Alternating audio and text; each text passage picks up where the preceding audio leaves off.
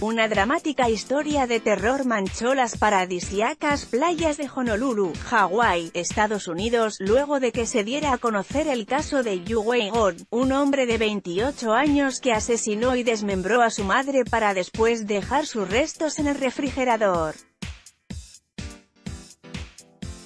De acuerdo con Diario Ojo, el joven discutió con su madre el pasado 4 de enero y debido a su ataque de furia, golpeó a su madre para después acuchillarla y descuartizarla. Sus restos los dejó en el electrodoméstico al lado de la carne molida. Horas después del macabro hecho, el sujeto intentó quitarse la vida pero fue tanto su miedo a perder el honor que prefirió llamar al 911 para denunciar la desaparición de su madre. Cuando las autoridades locales llegaron al lugar y cuestionaron el paradero de la fémina, el perturbado hombre les mencionó que estaba en el refrigerador.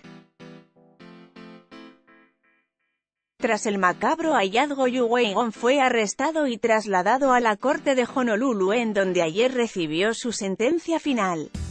El nuevo Herald señaló que antes de que se le dictara sentencia, el joven tuvo derecho a decir unas palabras y este aprovechó para disculparse con su familia por lo que había hecho. Quiero dejar claro que sí amaba a su mamá y que ella era una madre muy buena. No se merecía lo que ocurrió por ningún motivo.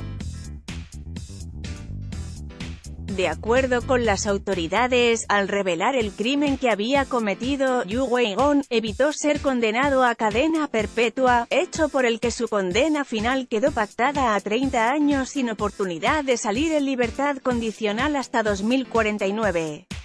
Con información de Diario Ojo, Nota Roja y el nuevo Herald Fotos de Diario Ojo anímate a comentar.